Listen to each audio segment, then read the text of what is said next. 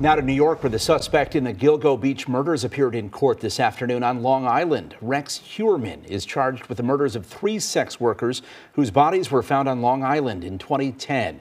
And he's suspected in a fourth case as well. Prosecutors said they've turned over evidence to the defense, including hard drives, thousands of pages of documents and photographs, autopsy reports, DNA reports, and surveillance footage from Heuermann's home.